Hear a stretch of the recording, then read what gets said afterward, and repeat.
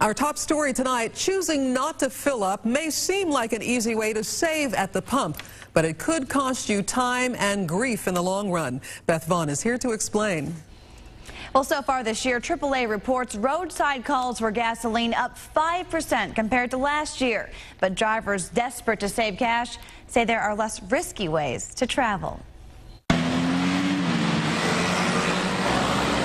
Minutes pass slowly at this metro stop on Main. It's a very nice weather today.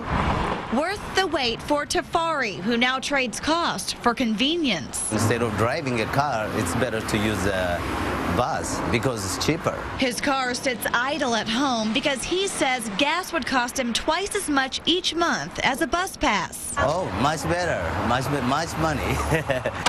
and he's not the only one looking for a cheap way out.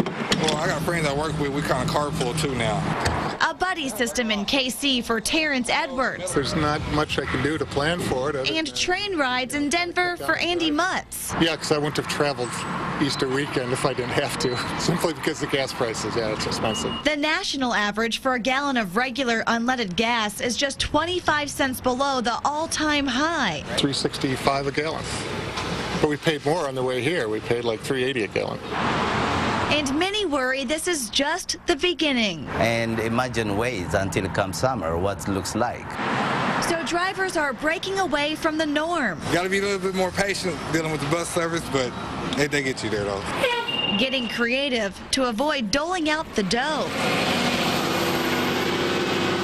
If you do choose to pay those high gas prices, AAA warns letting your fuel gauge drop below a quarter of a tank often could lead to major engine damage. Beth Vaughn, NBC Action News.